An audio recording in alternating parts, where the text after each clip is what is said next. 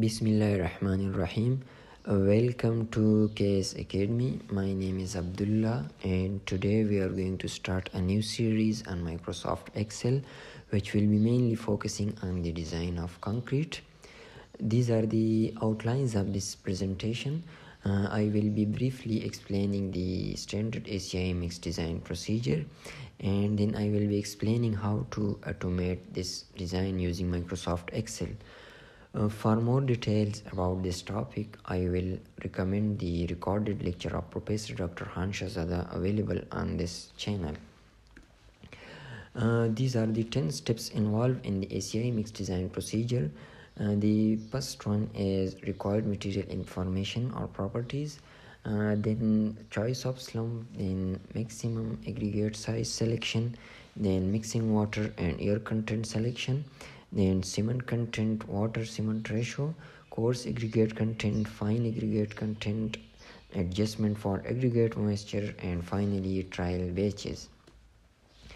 Uh, moving toward the first step which is required material information or properties.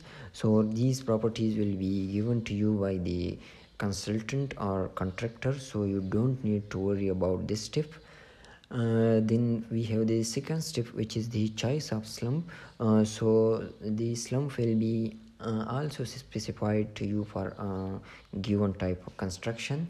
Uh, but if it is not specified so we can use this table which is table number 5.4 to find out the slump corresponding to the type of construction. Uh, then we have the third step which is maximum aggregate size selection uh, so these are the two checks for the maximum size of aggregates. The first one is 1 over 5 times the minimum dimension of the structural member. Uh, what does it mean? Uh, for example if we are designing a column uh, so 1 over 5 times the uh, minimum dimension of the column which is uh, width must be greater than 1.5 inches. And 1 over 3 times the thickness of the slab must be greater than 1.3 inches. And this is the step number four which is mixing water and air content selection. Uh, so uh, this will be explained in the coming lectures. Uh, finally after watching this uh, video series your template will look like this we will be covering these 10 steps in three modules. In this module, we will be explaining the first three steps and in the second module, we will be explaining the second three steps and in the last module, we will be explaining the remaining steps. Now I will open uh, the Excel sheet. So this is step number one which I have explained in the slide, the properties of uh, material. So these properties will be given to you uh, maximum size aggregate and these are the uh, properties of fine aggregates and these are the properties of coarse aggregates. Uh, now we have the step number two uh, uh, in this step we will be uh, choosing the slump based on the type of construction. And we will be using this table we will be using minimum value of slump for maximum strength. So i will copy this type of construction and then i will be using a vlookup function VLOOKUP. Uh, then uh, I will choose this target value and then I will choose the table target table.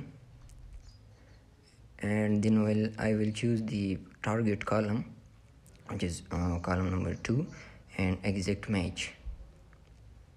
Finally uh, it will look like this. So you can type manually uh, every type of construction uh, but for automation I will use uh, this data validation. So I will choose list and I will just select this column which is the type of construction and then OK. Now uh, you can see uh, when you select the type of construction the will uh, automatically ap appear in this uh, cell. Uh, so I will just copy this into uh, step number two. And now you can see uh, when I choose this type of construction so the corresponding uh, value of slump will appear. Now we have step number three which is the maximum aggregate size. Uh, so we will apply uh, these two checks uh, which I've explained in the slides. So the first check is minimum structural dimension 1 over 5 time the minimum structural dimension which will be given to you. And so I will select this cell and press enter then uh, 1 over 3 time the uh, minimum thickness of slab if it is slab so the slab is in this cell slab dimension okay uh, now to apply the criteria I will be using IF function. Uh, and I will uh, say that if this uh, value in this cell is um, greater than 1.5 uh, return me uh, okay if it is less than 1.5 or equal to 1.5 so, return me not okay. So okay. Not okay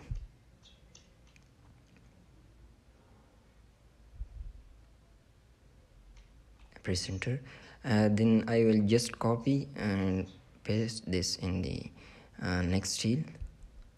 So you can see the sizes uh, are okay.